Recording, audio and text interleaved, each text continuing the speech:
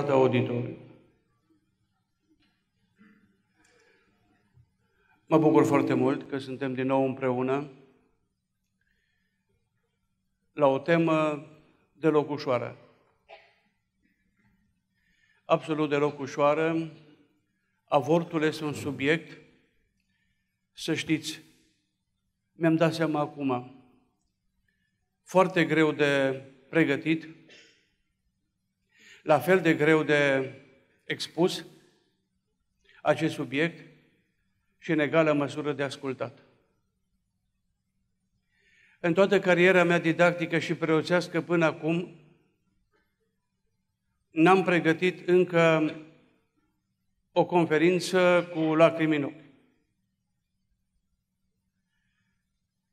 A fost foarte greu din acest punct de vedere, pentru că am citit unele lucruri și nu mi-a fost uh, până acum dat ca să las uh, un studiu început după câteva pagini sau să vizionez un film sau un filmuleț și să mă opresc după un minut sau după două sau după trei și să nu am puterea să-l, să-l, să-l văd, să-l vizionez până la capăt.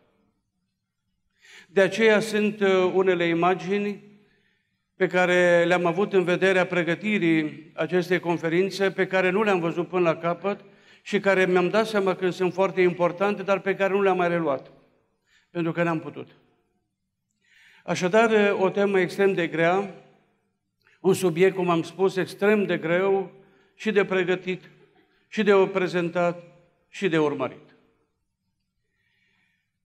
Mulțumesc tuturor acelora care m-au încurajat și care s-au uh, asociat mesajului nu al meu, pentru că am spus data trecută că nu vorbesc în numele meu, ci în numele Bibliei. Așadar, uh, mulțumesc tuturor acelora care au receptat mesajul meu ca atare. Sincere, deci, mulțumirea acestora.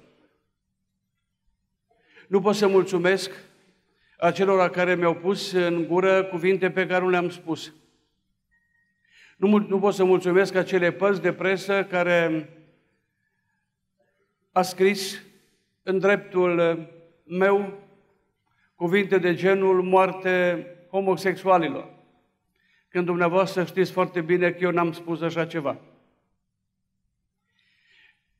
Nu pot să mulțumesc și îmi pare rău și sunt indignat încă de luare de poziție a unor purtători de cuvânt care nu au fost nici prezenți, care n-au ascultat ce am spus eu, dar care au prezentat cu totul și cu totul altfel tot efortul meu și toată implicarea mea emoțională și tot gândul meu bun. Acestora nu le mulțumesc, dar pentru aceștia am un, un sfat. Fiți onești, dați dovadă de profesionalism și onestitate, pentru că o să ajungem odată să dăm seama de fiecare cuvânt pe care l-am spus, pe care l-am scris, pe care l-am rostit. Așadar, mulțumiri și sfat și rugăminte de onestitate celelalte părți. Ca să înțelegeți de ce sunt aici, și pentru cei care pentru prima oară urmăriți programul uh, organizației creștine Agape, aveți aici în față ceea ce s-a făcut până acum, și anume, tema de sus, societatea de azi, o lume fără familie, a fost dezbătută. Cu efect mai mult decât ne așteptam în rândul acelora care au urmărit-o. A doua temă pe care am expus-o, homosexualitate, ce ne spune Biblia, cea mai mare parte dintre cei care sunteți aici ați fost de față și ați urmărit-o. Astăzi, o temă, așa cum spuneam, deloc ușoară, avortul ce ne spune Biblia, iar data următoare, ce vedeți aici, divorțul o soluție, tot aici, în această sală, în luna mai, în data de 14. Iar cele care sunt cu albastru sunt cele care vor urma până la sfârșitul anului în cadrul programului Agape, când, cum și cu cine ne căsătorim. Cred că toți știm acest lucru și toți avem un răspuns la aceste întrebări. O să vedeți că nu e deloc ușor să răspundem la aceste întrebări. Copiii, primăvara vieții și educarea copiilor, exemplul părinților. Așadar, toate aceste teme au în nucleul lor familia. Celula pe care este clădită societatea în care trăim. Spuneam la început, nu există societate fără familie. O societate și o națiune care nu cultivă acest nucleu nu are nicio șansă să existe mâine. Sperăm să înțelegem că suntem un popor creștin și că toată istoria noastră și a societății noastre trebuie să o clădim pe ceea ce înseamnă familia creștină. Sper că acesta va fi mesajul pe care o să-l receptăm în cele din urmă și care mesaj să facă ceva în această societate. Am spus la 20 de zile ale celor care stau în fața clinicii Stanca pentru a transmite un mesaj lumii de astăzi că viața trebuie apărată. Am spus atunci că la această conferință, dacă numai sala aceasta se umple, nu e mare lucru. Spuneam că această conferință trebuie să aibă, dincolo de această clădire, toată piața plină. Nu pentru mine să vină, nici pentru celălalt care va expune aici, nici pentru talentata noastră artistă, Paula Seli. Nu. Ci pentru a transmite un mesaj lumii de astăzi și societății noastre că viața trebuie apărată, că în viață trebuie să credem și că pământul pe care călcăm, pământul pe care ne purtăm pașii, nu trebuie să fie pătat de sânge și nici nu trebuie să trecem zilnic peste morminte. Nici în casele noastre, nici în societatea noastră. Și e trist că mulți părinți trec zilnic pragul, pragul casei lor, călcând pe un mormânt sau două în propria lor casă. Și trebuia toți creștinii din această urbe să dăm mesaj lumii în care trăim prin prezența noastră. Poate că această conferință, cât de cât, va contribui la înțelesul vieții și pentru cei care nu sunt aici, prin mijloacele de răspândire a ceea ce facem aici. Și acum, dragii mei, pentru cei care trebuie să-și reamintească unul din slide-urile cu care încheiam data trecută. Despre acea lume pentru care eu am arătat toleranță. Iată ce am spus atunci, măcar acum poate va fi receptat. Această lume, nu o mai numesc, trebuie să fie luată în atenția noastră tuturor Biserica și societatea nu-i poate abandona și nu trebuie să-i abandoneze și nici să-i nesocotească. Și am spus, ei sunt subiecti de misiune și de dialog pentru fiecare în parte. Pentru biserică, pentru societate. Nu sunt subiecte de aruncare la marginea ei, ci sunt subiecte de misiune pentru fiecare în parte. Cu speranța că măcar acum se va recepta corect mesajul, trecem la ceea ce înseamnă conferința de astăzi și așa cum vom, v-am obișnuit, pentru a putea urmări mai ușor un cuprins, ce este avortul, ne vorbește Biblia despre avort, ce spune Vechiul și Noul Testament, avortul o problemă exclusiv feminină, semnul întrebării, și ultima problemă, există remedii? De pe acum, aș vrea să vă spun că la punctul 4, unde există acea întrebare, am să vă spun ceva foarte frumos. Pentru fiecare suflet. Și acum intrăm în tema noastră. Prima problemă, ce este avortul?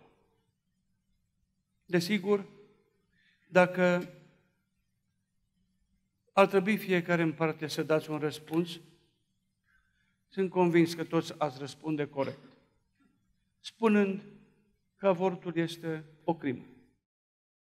Ce este avortul?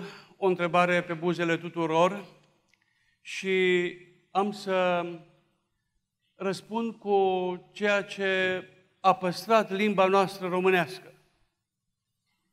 Nu dintr-o conferință, nu dintr-o carte, nu dintr-un tratat, tratat embrional, nu dintr-un tratat medical, ci din ceea ce spunea limba română în pravila de la Govora din 1640 și în pravila sau îndreptarea legii a lui Matei Basarab din 1652, în care cărți, cărți ale culturii românești, ale culturii acestui popor, nu există cuvântul avort.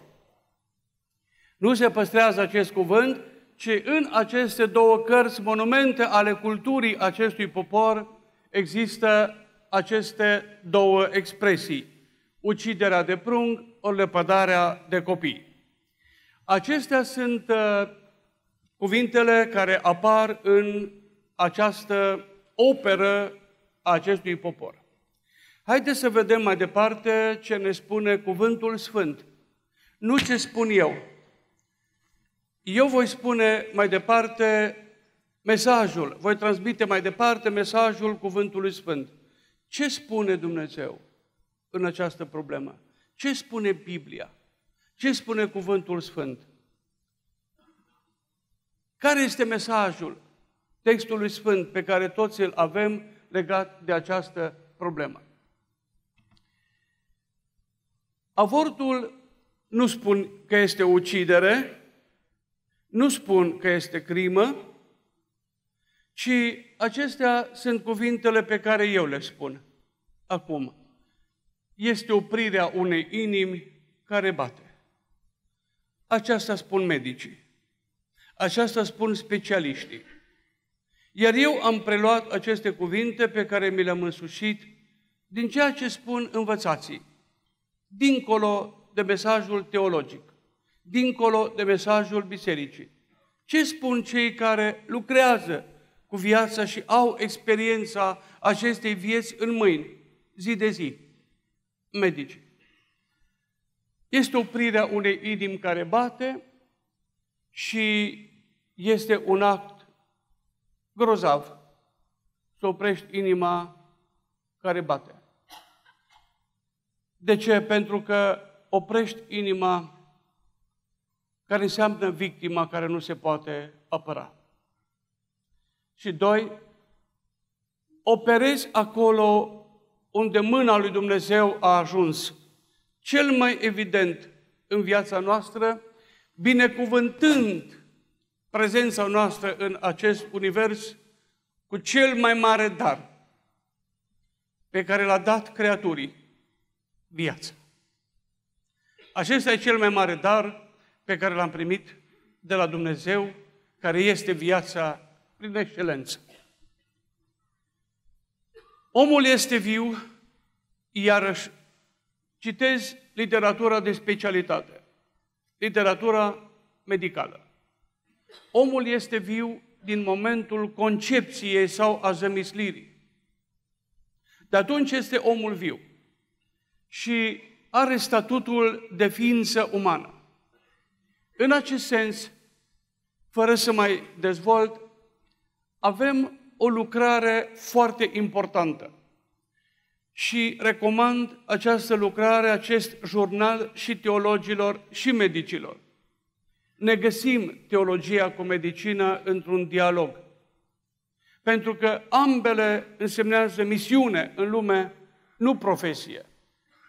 Și Cliff Peter, într-o lucrare, Human Personhood, spune el, begins at conception. Într-un, într-o revistă, într-un jurnal, Journal of Biblical Ethics in Medicine. Iată, este vorba de etica biblică în medicină. Sunt specialiști, în oameni de știință, care au spus acolo, în acest jurnal, în multele numere, ce înseamnă etica în medicină. Și cum ar trebui medicina astăzi să se raporteze la etică și la valorile morale. Nu e teolog. E un specialist. Și mai departe, o concluzie la ceea ce am spus aici, sus, iarăși dintr-un mare om de știință. Concluzia este, din secunda în care prima celulă a trupului uman se formează, prin fecundarea ovulului de către spermatozoid, adică acela este momentul concepției, fie prin procesul de fiziune embrionară, e vorba de cazul gemenilor, acea celulă poartă în sine demnitatea umană și dreptul inalienabil la viață. Am speculat această concluzie dintr-o mare lucrare a unui mare filozof în același timp cu reale studii și experiențe din spațiul medical, cazul Christopher, etica avortului, dreptul femeii, women rights, human life, viața umană, and the question of justice și problema justiției. Deci iată câte domenii sunt adunate în a da răspuns la această problemă care pe toți ne confruntă. Și societatea de astăzi. Medicina, teologia, adică biserica, justiția, sociologia, psihologia, psiha, psihiatria, toate la un loc încearcă într-un efort comun și serios al oamenilor serioși cu o conștiință creștină în spate. Să dea un răspuns la această întrebare pentru a salva viața pe pământ. Ne vorbește Biblia despre avort? Care credeți că este răspunsul ferm? Nu. Nu ne vorbește Biblia despre avort? Răspunsul categoric este nu. Dar, dragii mei, vorbește despre viață. Despre viață ne vorbește cum nu vorbește o altă carte pe pământ. În istoria culturii și a civilizației umane n-a vorbit nimeni despre viață, cum vorbește cuvântul lui Dumnezeu. Și v-aș ruga pe toți, în cele ce urmează, să fiți cu mare lor aminte, ca și cum până acum n-ați fi fost, foarte atenți la câteva texte de o profunzime extraordinară. Și să știți că pentru dumneavoastră le-am studiat mai mult în aceste zile. Le-am pregătit foarte serios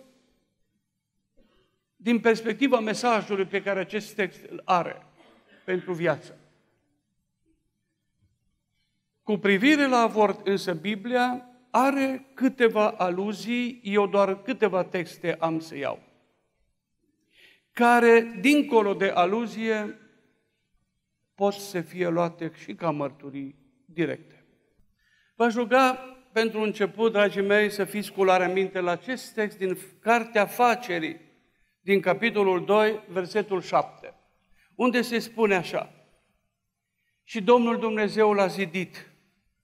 O să revin asupra verbelor pe care le vedeți acolo din greacă și o să vedeți de ce. Foarte pe scurt. Domnul Dumnezeu l-a zidit pe om din țărână luată din pământ și a suflat asupra lui suflare de viață. și s-a făcut omul într-un suflet viu. Sigur, dincolo de ceea ce înseamnă textul în înțelesul literar. E foarte greu dacă m-ați întreba cum Dumnezeu s-a coborât și l-a făcut pe om, l-a, plă, l-a plăzmuit precum olarul, face opera lui de artă din pământ în felul acesta, atât a putut atunci autorul, care a preluat tradiția, este vorba de Moise, care a preluat tradiția de la început, despre facerea omului. Așa înțeles omul lucrarea lui Dumnezeu atunci. Deci trecem dincolo de sensul literar al textului și ne oprim la ce s-a păstrat în tradiția orală a lumii, a omenirii de la început, despre punctul acela inițial, trecând peste cuvintele care numai atât pot să exprime acum, în mileniul nostru. Ce este important acolo e, e acel verb tradus în Septuaginta, care a tradus textul original ebraic, cu trei secole înainte de Mântuitorul Hristos, spunând l-a zidit. În limba greacă este acolo un verb, aici un auris, plaso, care însemnează a modela cu deosebită atenție și grijă ceva. Deci Dumnezeu l-a făcut cu deosebită grijă și atenție pe om. Mai departe, acel cuvânt sărână de aici luată din pământ, adică acel cuvânt în limba greacă bună, însemnează cea mai fină particulă din pământul pe care calcă omul. Deci iată ce grijă specială a avut Dumnezeu când l-a creat pe primul om. Și acum este important și a suflat asupra lui suflare de viață. Și s-a făcut, noi traducem cu s-a făcut, Sensul lui egenetul de acolo spunează a devenit, adică a trecut de la o stare la altul. În momentul în care Dumnezeu a suflat viața în primul om creat de El, acel om a devenit într-un suflet viu. Și asta e traducerea foarte bine primită, înțeleasă, simțită de către fostul mitropolit al nostru, arhi, ar, uh, arhiepiscopul Bartolomeu, care a tradus sensul original într-un psihin zosan, adică a trecut de la ceva într-un alt cadru de referință al existenței. Din acest cadru de referință al existenței, omul într-un suflet viu este exprimat foarte bine de către alte limbi, nu că noi n-am putea să traducem mai bine acest text, ci că nouă limba noastră are nevoie de mai multe cuvinte pentru a exprima o realitate. În limba germană, acest s-a făcut omul într-un suflet viu, are expresia lebendiges Wesen, ființă vie, activă, dinamică. Și același lucru și în traducerile englezești, în edițiile critice, living being, aproape un pleonas. Mergem mai departe la textul, acest text, de fapt, pe care l-am spus, Constituția omului, îl aduce în posibilitatea de a experia ceea ce toți experiem. Și extazul și entazul. Și exterior, contemplați, contemplată existența, sensul profund al existenței și în interior. Dragii mei, această posibilitate nu are decât omul, această ființă, această creație a lui Dumnezeu. Aceasta este valoarea omului. Dincolo de orice ființă de pe pământ. În Psalmul 138 îi spune atât de frumos. Citim acest psalm în versetele pe care le vedeți. Tu ai zidit cele din lăuntru ale mele, Doamne. Tu m-ai alcătuit în pântecele mamei mele. Te voi lăuda că sunt o făptură așa de minunată. Citind și întrerupând lectura, când încercam să mă documentez, am văzut ceva scris de un autor cu totul deosebit. Ce este mamă? De ce este femeia? Și ce este în pântecele ei? Și m-am gândit atunci și nu întâmplător am luat din psalm și aceste cuvinte, te voi lăuda că sunt o făptură așa de minunată. Femeia este singura ființă de pe pământ care adună în ea dintr-o dată, când viața este în interiorul ei, două minți, două creiere, două inimi și tot ce înseamnă inima, două sexe, se poate și așa, două rațiuni, două gândiri și așa mai departe. Și ce este plământit în pântecele ei? Foarte important. Participă la durerea și la bucuria mamei. Ființa aceea din pântecele ei participă la durerea mamei, pe care o are când este însărcinată, dar și la bucuria mamei, când ea se găsește ființa aceea în pântecele ei. Alexis Carel, amintiți, a dat această definiție omului. Pornind tocmai de aici, luăm să tinconiu, omul acest necunoscut. Și spune mai departe psalmistul, nu sunt ascunse de tine oasele mele pe care le-ai făcut într-o ascuns, într-o ascuns aici însemnând dincolo de perceperea, perceperea omului, dincolo de priceperea omului. Cum se naște această ființă în pântecele omului? Adesea se spune că nu e nimic altceva decât o adunătură de celule. Cum acea adunătură de celule iese la iveală sub acest chip unic care este om? Și asta e lucrarea lui Dumnezeu. Și asta este viața, care numai El o poate produce așa, în interiorul nostru. Nici ființa mea pe care ai urzit-o în cartea ta, sunt toate acestea scrise. Ființa aici referindu-se la substanță. Eram pregătit pentru câteva explicații în acest sens. Timpul nu ne permite, vă rog să luăm acum doar câteva texte din Noul Testament. În 1 Corinteni 3, 16, 17 se spune așa. Ce este omul? Uitați-vă ce este omul. Să știți, nu știți oare că voi sunteți templul lui Dumnezeu și că Duhul lui Dumnezeu locuiește în voi? Templul lui Dumnezeu este om. Și mai departe spune așa Apostolul Pavel, inspirat de Dumnezeu, de va strica cineva templul acesta, templul lui Dumnezeu, și Dumnezeu îl va strica pe el. Nu sunt cuvintele mele, cuvintele Apostolului Pavel care spunea, Evanghelia pe care vă vestesc, spunea Galatenilor, n-am primit-o de la om, n-am învățat-o de la om, ci de la Dumnezeu prin descoperire. Deci ce citiți aici? Ce vedeți aici? Este cuvântul lui Dumnezeu, este mesajul lui Dumnezeu.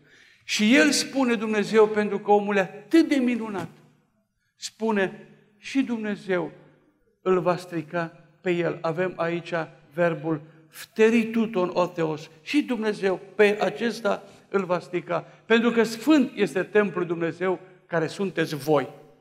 Și aici, verbul acesta, Ftiro însemnează, uitați-vă ce însemnează, a strica, a deteriora, a distruge, a corupe, a păta. Nimic din toate aceste sensuri ale acestui verb nu trebuie să existe în acțiunile noastre vis-a-vis de cel de lângă noi. În 1 Timotei, capitolul 2, versetul 15 și mamelor, femeilor, tinerilor, Uitați-vă ce sunteți.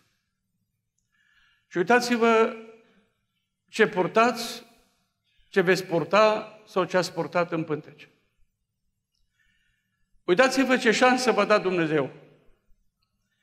Uitați-vă ce mână v-a întins Dumnezeu. Uitați-vă ce este femeia în acest univers.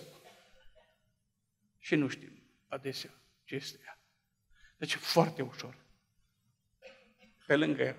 Iată ce spune Dumnezeu despre ea, nu Apostolul Pavel.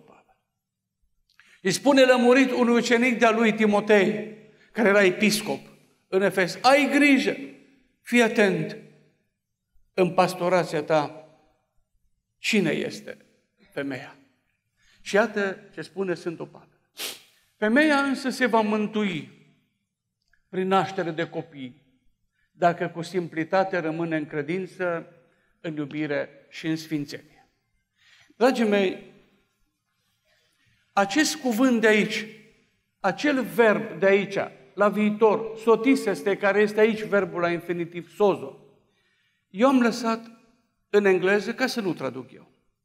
Așa cum în Bible Works, unde există toate textele edițiilor critice și explicațiile lor, le-am lăsat așa ca să vedeți ce înseamnă acel sozo, adică ce înseamnă mântuirea aceea de care femeia va avea parte.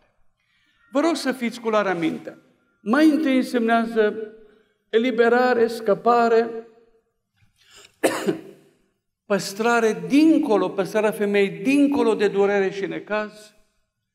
Mai departe, păstrarea ei și îndepărtarea ei de orice pericol natural, de suferință, de durere, de tot ce apasă asupra ei. Când se petrec toate acestea? Și dacă vedeți mai departe aici, femeia, prin naștere de copii, va fi izbăvită de moarte, nu este vorba de moartea fizică prin care trece orice om, moartea biologică. Va fi eliberată. Fiți atente aici, mamelor, viitoarelor mame. Poate aveți o suferință în trupul vostru. Veți fi scăpate de zis aici însemnează boli, suferință, durere și de acestea. Și aici sunt textele, uitați-vă, unde se vorbește despre aceasta.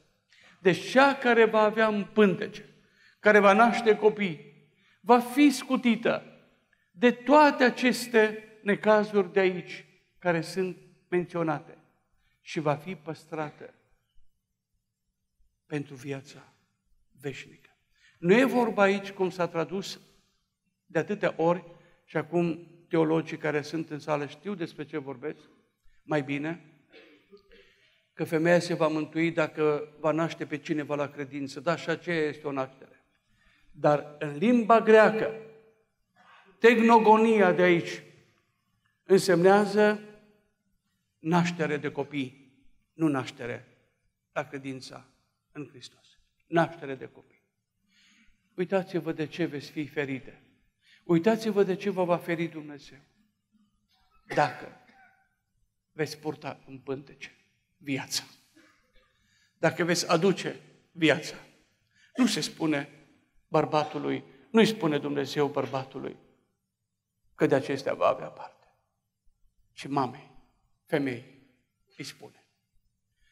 Puneți în suflete acest text, în cele mai adânci părți ale sufletului, ale minții, ale rațiunii dumneavoastră.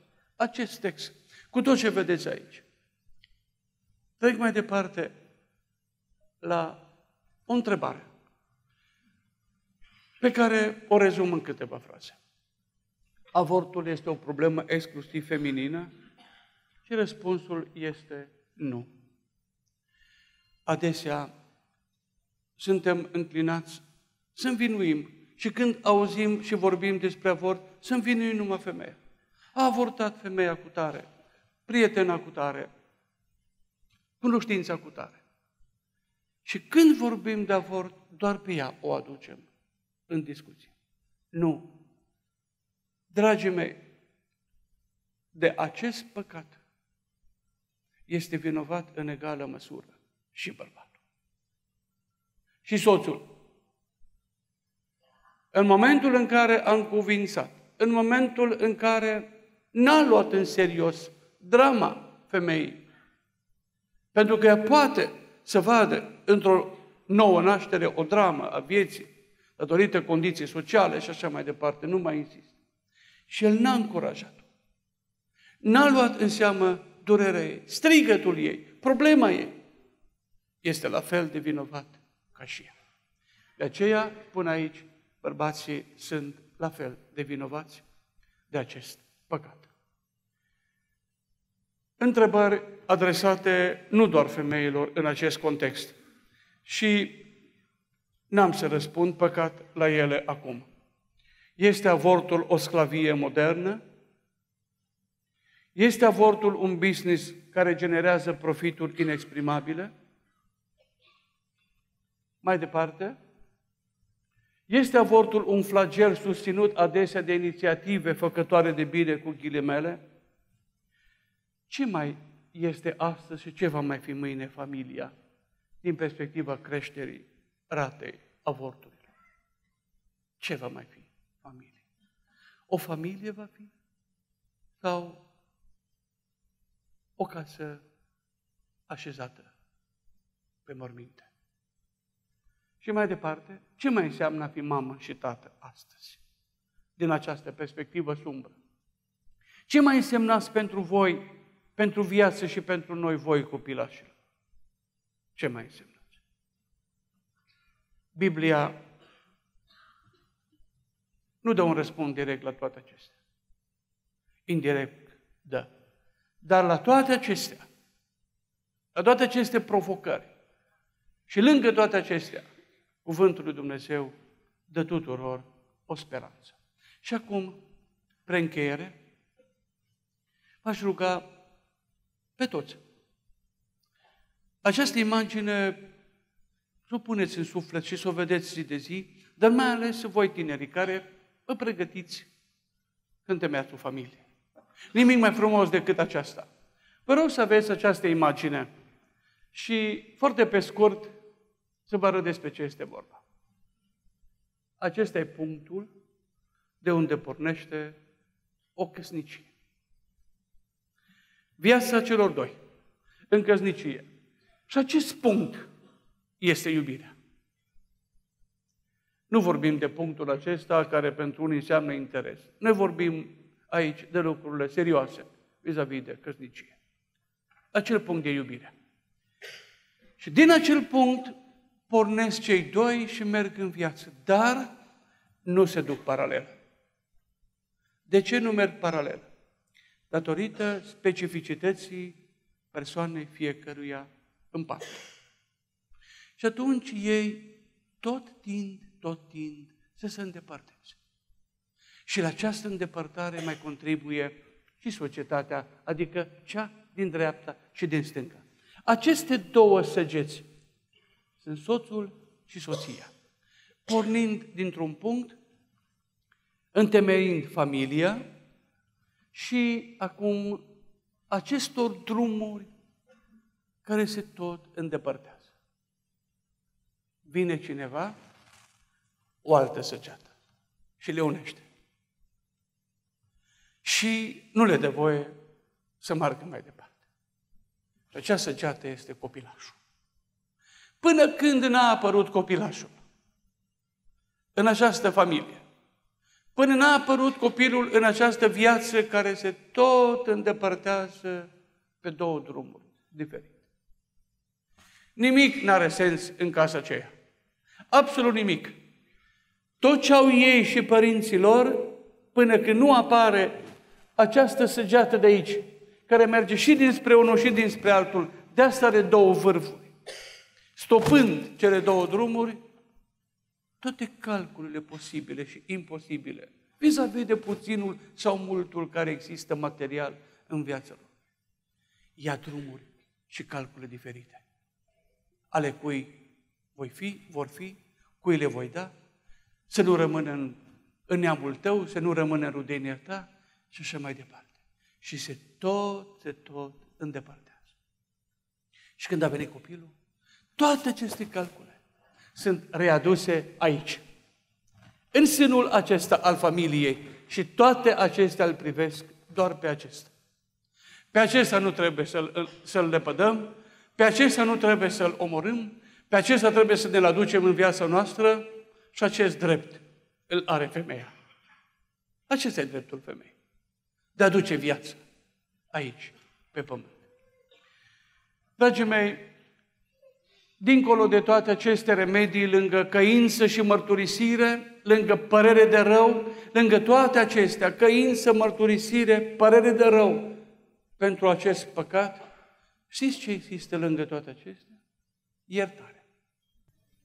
Dumnezeu iartă orice păcat. Orice fără de lege.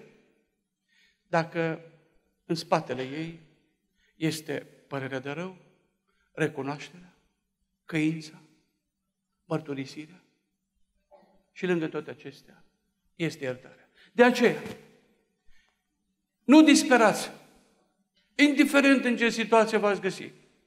Nu deznădăjduiți. Există salvare. Noi preoții ne confruntăm în taina spovedaniei, în mărturisire, cu femei de 60 de ani și mai în vârstă, care spun în ce spovedanie așa, Părinte, am făcut un avor sau două. Și am, atunci întrebăm, dar până acum nu v-ați mai spovedit? Ba da. Și îmi pare rău și încep să plângă.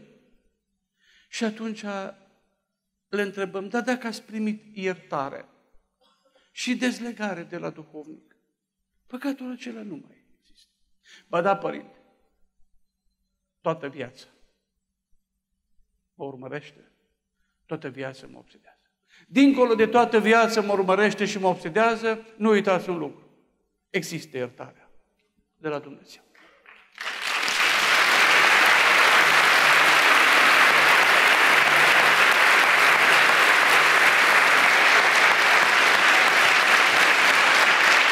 Și închei, ca să o ascultăm și pe doamna doctor cu celelalte consecințe. Cred că ei va fi mai greu decât mine decât mie acum.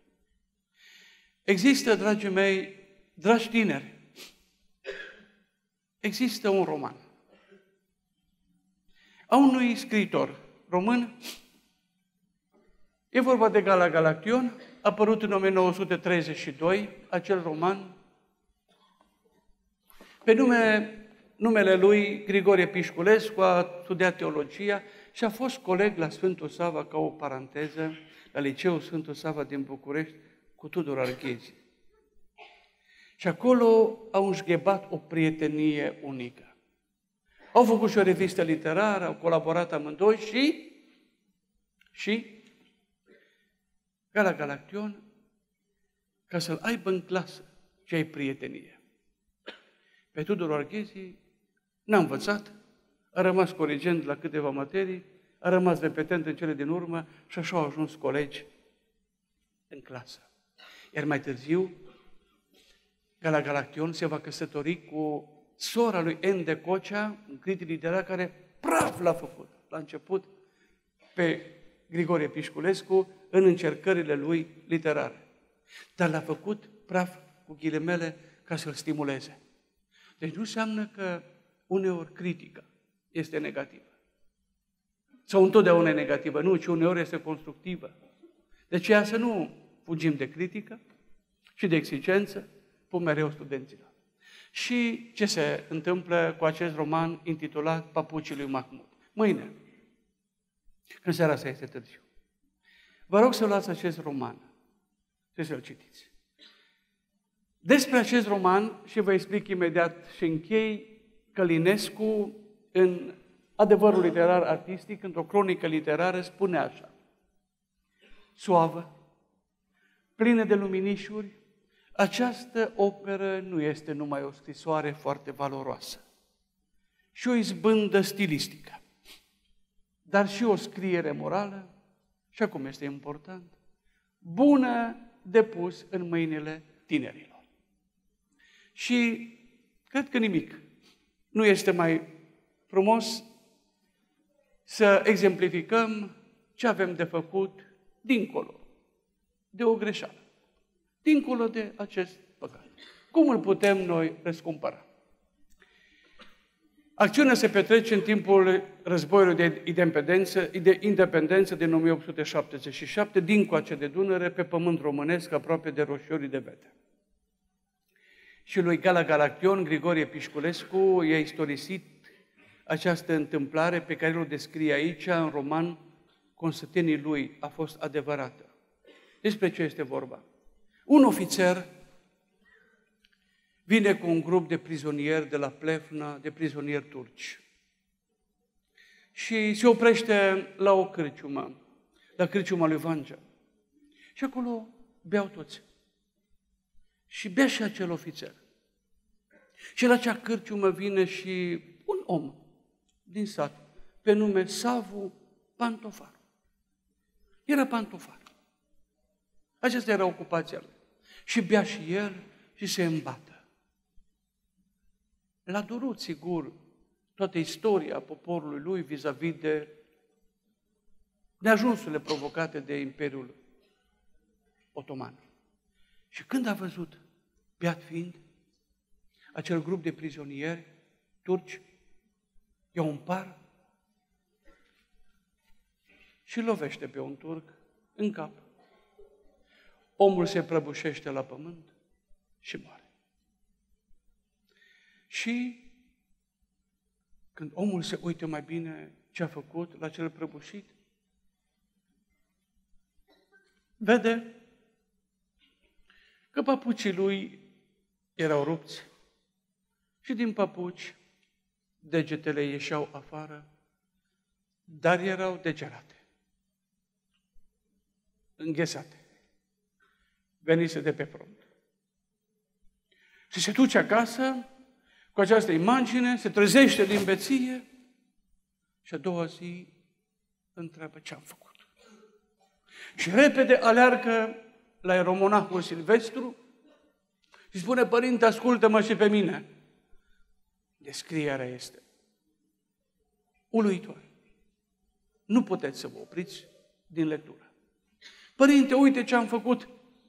Am omorât pe un om care nu s-a putut apăra. Poate omul acesta are acasă copii. Pe acest tată poate îl așteaptă copiii acasă. Îl așteaptă soția. Îl așteaptă părinții, îl așteaptă satul. Și eu, părinte, l-am omorât. Ce am să fac? Ce trebuie să fac? Nu mai există pentru mine iertare. Și atunci Părintele Silvestru i-a spus, uite, tu ești pantofar. Fă o mie de perechi, de papuci. Și du-te cu ei prin sate.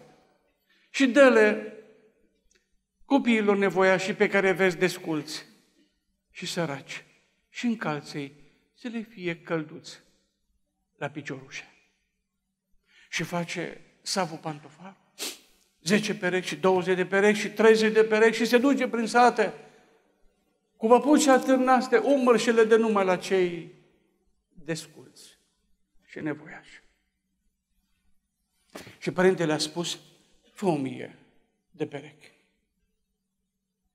Și face omul așa. Și cu a mia pereche, cu ultima pereche de papucaș, se urcă pe vapor și încearcă să plece spre Turcia pentru a încălța piciorușele copiilor acelui turc. Dar moare pe drum. Și așa s-a izbăvit Savu Pantofaru. Dragii mei, închei spunându-vă transmițând acest mesaj familiei. Poate, într-un anumit context, acest păcat îl veți fi făcut. Nu deznădăjduiți. Nu veți putea să faceți o mie de perechi de papuci și să puneți în piciorușul unor copii. Nu veți putea. Dar sunt atâția copii nevoiași în societatea noastră. Și fără să știe nimeni, nimeni, nici cei din casa ta, du-te, interesează-te la o școală și vezi cine e acolo necăjit. Și plătește-i. de o bursă, pe o lună cât poți, pe o săptămână, pe două luni, pe o jumătate de an.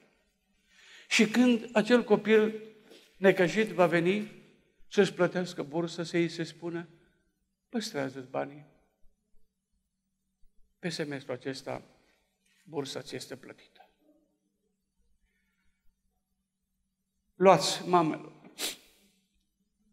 o hăinuță, cândva de Paște, de Crăciun,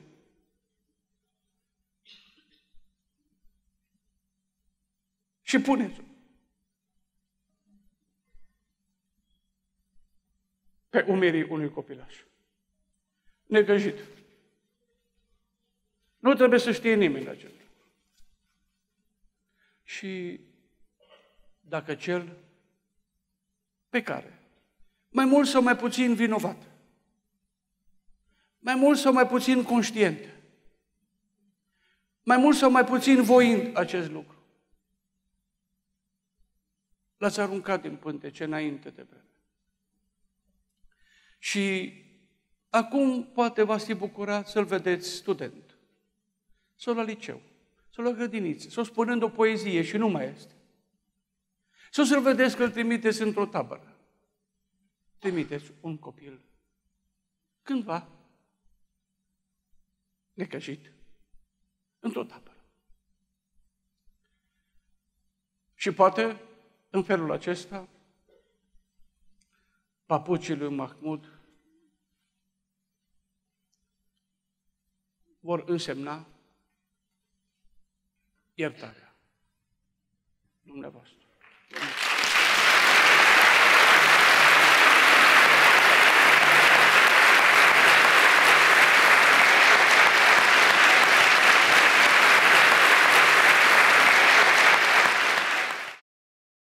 Mulțumesc frumos! Vă spun și eu bună seara și aș dori să mulțumesc mai întâi pentru invitația Organizației Creștine Agape și a Părintelui Profesor Stelian Tofană de a fi parte cu dânsi împreună la acest eveniment. M-a onorat și mă emoționează în continuare. Aș vrea să încep această prelegere cu acest film, care probabil vă este familiar multora, se numește 4 luni, 3 săptămâni și 2 zile. Iar aceasta este ultima scenă din film în care dialogul are loc între Găbița, care este o studentă care rămâne însărcinată cu o sarcină nedorită, și prietena ei și colega ei de cameră, Otilia, care o ajută în vremea comunismului cu sacrificii imense să facă un avort. Și dialogul dintre ele este următorul. Găbița o întreabă pe Otilia la îngropat, iar ea îi răspunde, auzi, știi ce spun eu? Să nu mai vorbim niciodată despre asta adică tăcere. Tăcerea este realitatea care descrie cel mai bine atitudinea majorității față de femeia care se află în fața, poate, a celei mai crâncene și delicate decizii din viața ei, să păstreze pruncul sau să nu-l păstreze. Adesea partenerii de viață tac și nu își asumă sarcina, tac, tace personalul medical care nu avertizează și tace societatea care care nu ia nicio măsură. Apoi, din nefericire, cea care intră într-o tăcere mormântală, uneori zile, luni, ani, uneori chiar toată viața, este însăși femeia. Dorința care o au eu, am eu în această seară este să sparg această tăcere în ceea ce privește efectele pe care avortul le poate avea, atât din punct de vedere medical cât și psihologic, și în același timp să încurajez foarte mult la spargerea propriei tăceri, este singurul mod prin care o femeie care a trecut prin această experiență poate să ajungă la vindecare și la cicatrizarea rănilor care s-au produs. Chiar dacă se petrece în cabinete medicale, chiar dacă există un cadru legal, chiar dacă avem igienă și tehnologie foarte performantă, avortul nu este lipsit de consecințe medicale. El rămâne un paradox în medicină pentru că este într-adevăr o situație nemai întâlnită. Din doi pacienți sănătoși care se prezintă la medic, unul va deceda în aproape 100% din cazuri, iar celălalt se întoarce acasă cu șanse foarte mari de a dezvolta patologie. Nu aceasta este menirea noastră de medici.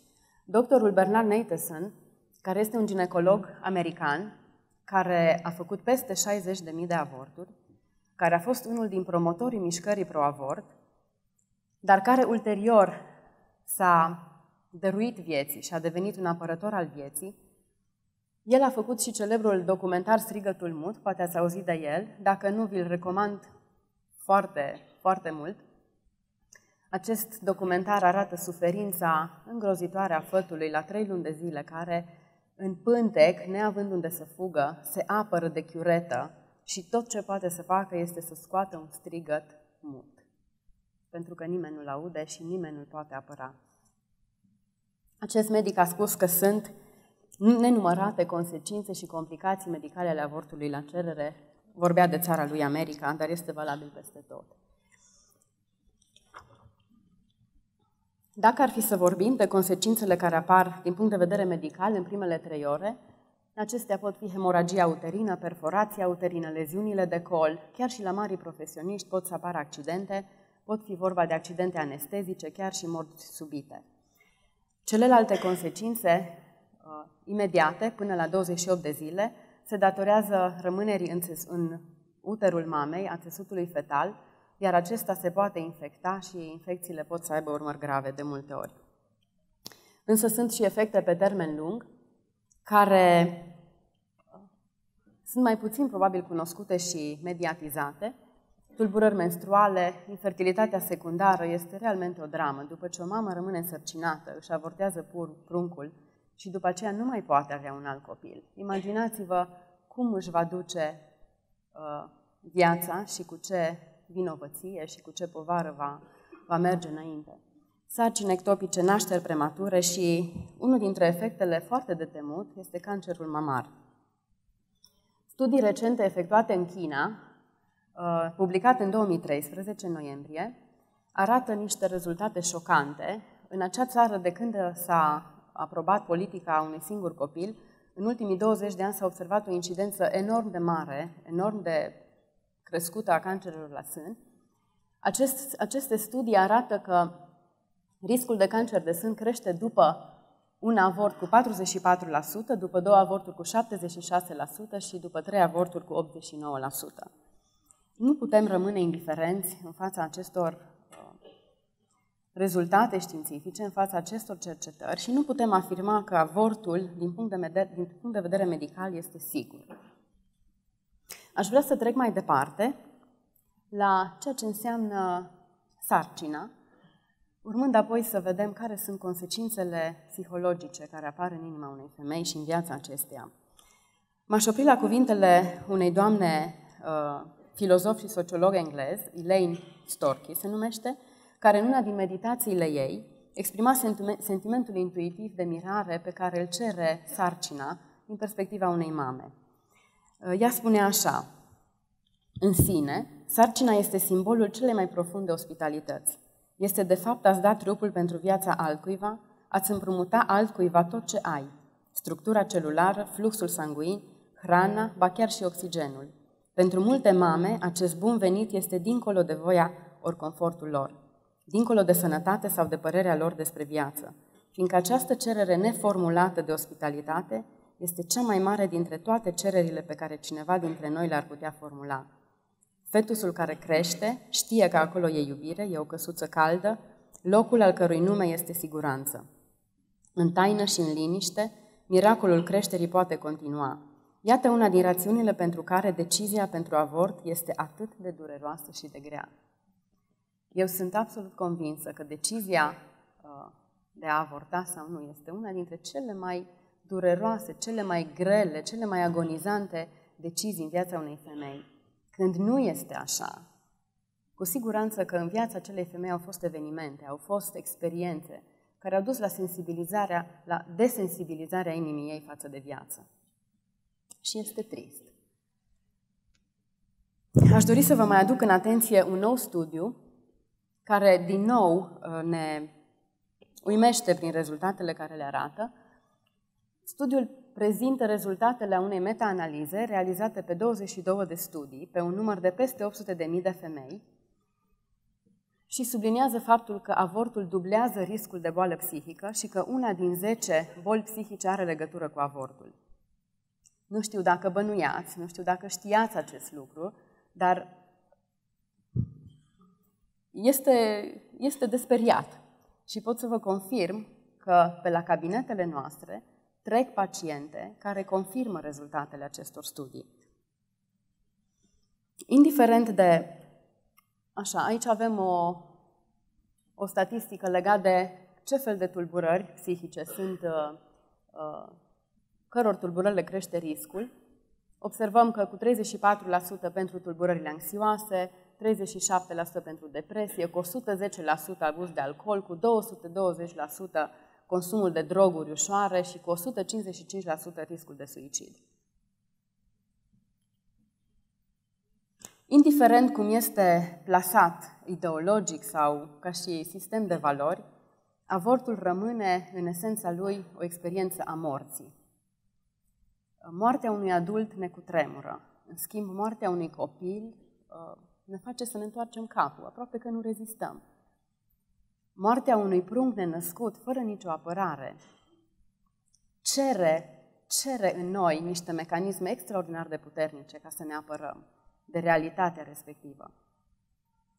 Orice întâlnire sau orice apropiere de moarte, orice experimentare a, fațetei, a fațetelor lor, naște în om suferință, durere, regret, uneori furie, uneori vinovăție, uneori rușine. De felul în care această furtună emoțională este gestionată de către femeie, depinde sănătatea ei emoțională ulterior. Dar cele mai multe femei, continuându-și mecanismele de dinainte de avort, cu ajutorul cărora a reușit să ia această decizie, și după avort rămân în această negare. Negarea este, de fapt, o blocare a procesului natural de suferință, de jelire după copilul pe care ea l-a pierdut.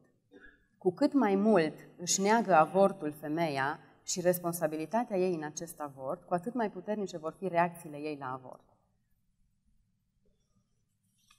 Aș vrea să mergem în continuare și uh, mai pe scurt, din pricina lipsei de timp, voi trece în revistă câteva tulburări care pot să aibă o legătură uh, directă cu avortul, dar neconștientizată de multe ori. Una dintre tulburări este sindromul post-avort.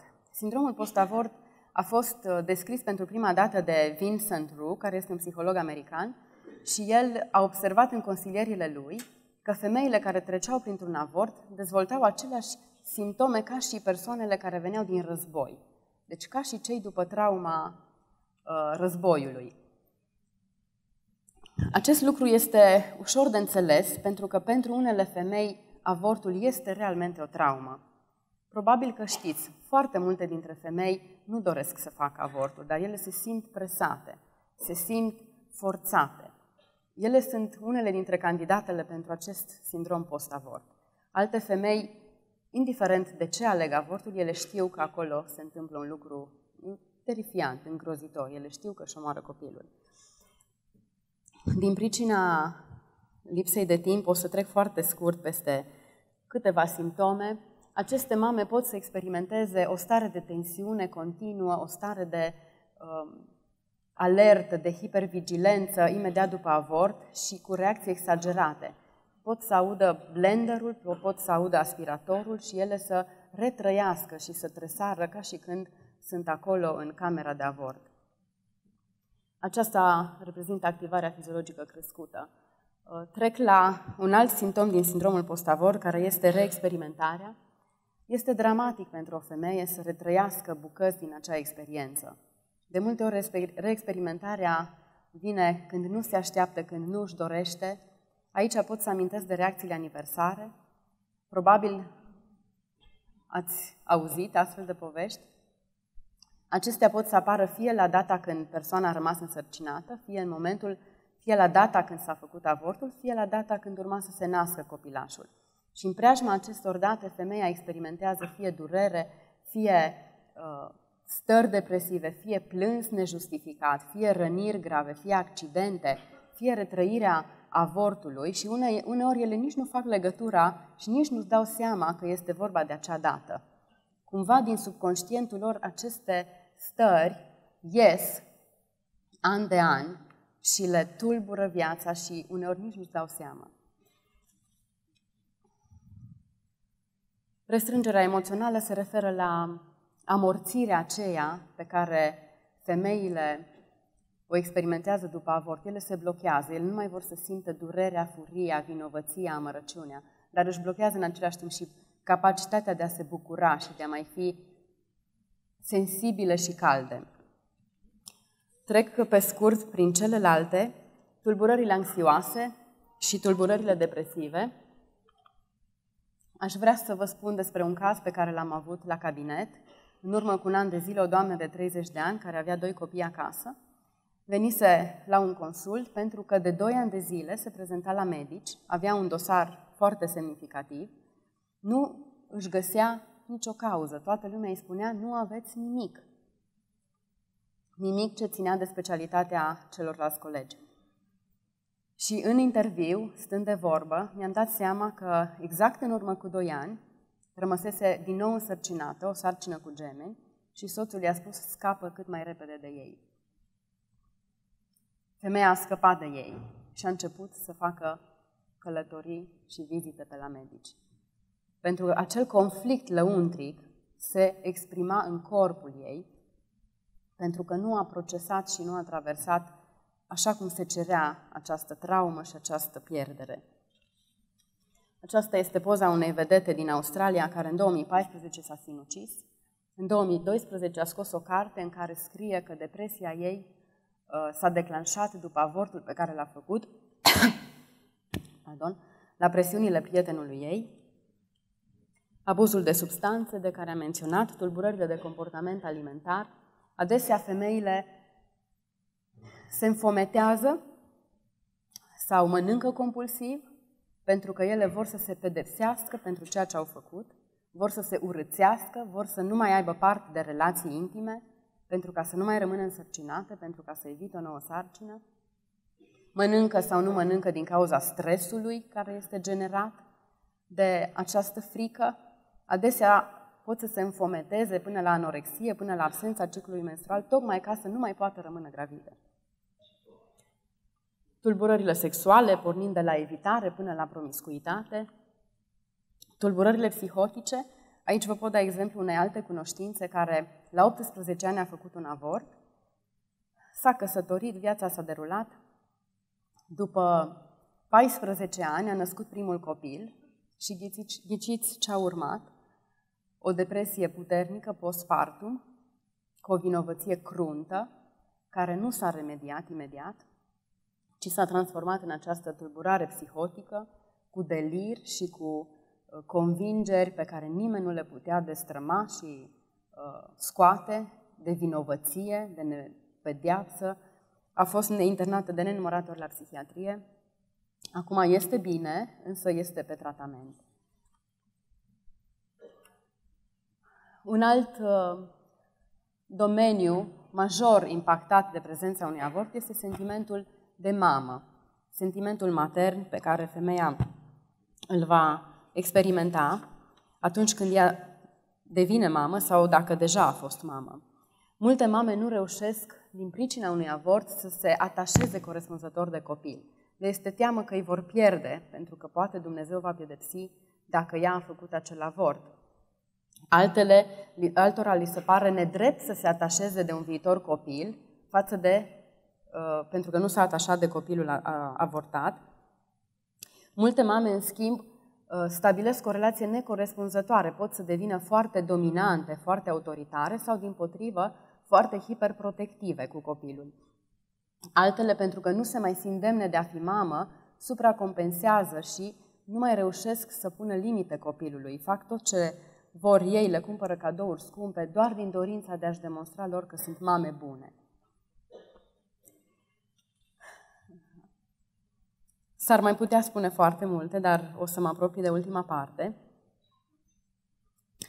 În ultima parte, aș dori să mă adresez în mod deosebit acelor femei din sală care au înțeles foarte bine ce am vorbit sau, în puținele cuvinte, s-au regăsit pe alocuri. Un uh, sondaj făcut de Institutul de Politici Publice în 2012 a arătat că una din patru femei în România cu vârsta peste 33 de ani au făcut cel puțin un avort.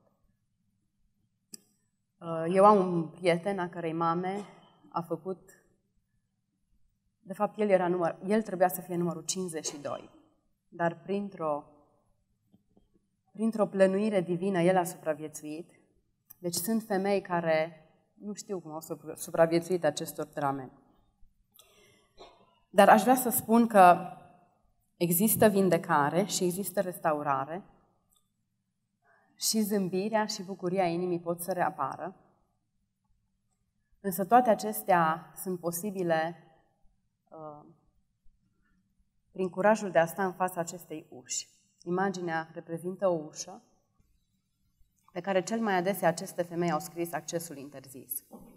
Și au promis că nu vor să mai intre în camera aceea a vieții lor. Și au promis că nu vor să-și amintească. Și au promis că acolo este tăcere, acolo este praf, acolo nu vor intra niciodată. Doar că pe supragul acestei uși, în fiecare zi, în toate relațiile și în toate activitățile, vinovăția, furia, ura, se scurg, îi contaminează viața și îi contaminează bucuria de a trăi. Curajul de a deschide această ușă,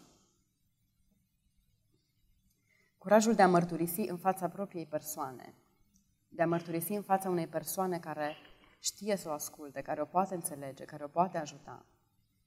Curajul de a mărturisi în fața lui Dumnezeu este primul și cel mai important pas către vindecare. Ceea ce noi nu scoatem prin cuvinte, ceea ce nu verbalizăm, vom exprima în alt nivel, prin boală sau prin altfel de comportamente. Vindecarea presupune mărturisire cu gura, exprimarea prin cuvinte. Un alt pas pentru a ajunge la această vindecare, la restaurare și la eliberare este acceptarea și dăruirea iertării. Părintele profesor a vorbit așa de frumos despre ce înseamnă acceptarea iertării. Cu siguranță ea poate să vină doar din partea lui Dumnezeu. El este dătătorul vieții și El poate să aducă pacea și liniștea în, unei feme- în inima unei femei. Însă aș vrea să mai subliniez un aspect la fel de important, este acordarea iertării. De foarte multe ori femeile fac avort pentru că sunt sub presiune, sunt forțate. Eu cred din toată inima că adesea ele sunt victime. Cu siguranță trebuie să-și asume acest act, dar sunt forțate adesea. Și poartă în ele multă amărăciune, multă furie, multă, multe resentimente față de parteneri, față de medici, față de cei care au fost participanți la acea decizie. Vindecarea și restaurarea nu este posibilă până când nu apare și această alegere de a ierta. Iertarea nu este niciodată un sentiment. Noi nu avem chef să iertăm pe nimeni care ne rănește. Iertarea însă este o alegere, în primul rând pentru că noi suntem iertați, în al doilea rând pentru că neiertarea ne face foarte mult rău. Le spun adesea pacienților mei că neiertarea este ca și cum noi am bea o travă și ne-am așteptat să moară celălalt. Neiertarea este cancerul sufletului, roade încet și încet și ne îmbolnăvește și ne fură toată bucuria și puterea de a trăi. Acordarea iertării, la fel ca și primirea iertării, este un alt pas foarte important în vindecare. Și ultimul aspect la care mă voi referi, la fel de important în, ex- în experimentarea vindecării, este jelirea copilului. Tot psihologul Vincent Rus spunea că părinții vor fi întotdeauna părinți, indiferent dacă pruncul lor nenăscut moare nenăscut. Ca urmare, multe mame, mulți părinți se simt goi, jefuiți, simt foarte crunt această pierdere. Se pot face câțiva pași care pot ajuta părinții să se despartă într-un mod sănătos de acești copii. Copiii pot fi numiți, li se poate scrie o scrisoare, li se poate compune o poezie, un cântec, se pot oficia servicii de mormântare. Toate acestea, poate și la 10, 15, 20 de ani după avort. Doliul care nu este procesat, jelirea care nu este acceptată, mai devreme sau mai târziu, vor duce la tulburări. Eu văd asta în cabinet. Persoane care pierd ființe dragi și neagă și sunt blocate pentru că nu jelesc și nu își parcurg doliul de care nu ne putem uh, debarasa. Aș vrea să mă opresc aici, uh, spunând că, așa cum musafirii noștri au spus la început, femeia are dreptul să aleagă. Femeia are dreptul să aleagă nu cancerul, nu complicațiile, nu vinovăția, nu furia, nu amărăciunea, nu povara acestei crime, că asta este. Femeia are dreptul să aleagă viața, să aleagă uh, sensibilitatea, să aleagă căldura, să aleagă destinul pentru care ea a fost creată. Mulțumesc!